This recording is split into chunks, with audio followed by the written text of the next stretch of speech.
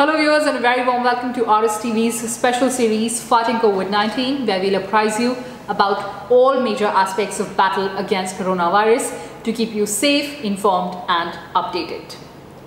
After quarantine and coronavirus became one of the most commonly used words across the globe in the past few months, a new word, hotspot, is becoming popular as the government clamps down on the active hotspots of COVID-19 across the country.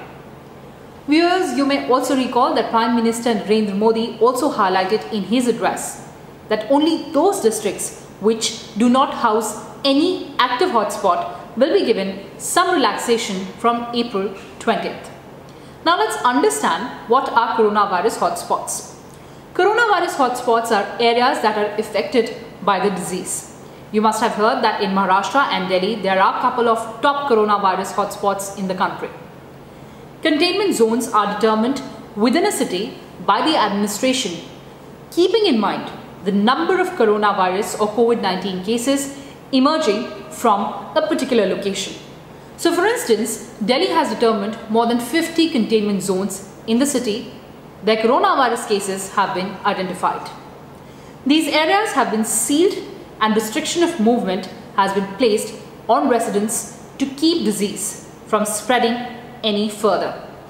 But how does it affect the lives of people in the hotspots?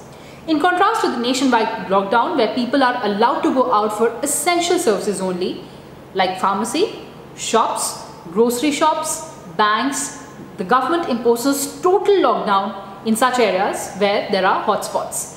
People won't be allowed to step out of their houses.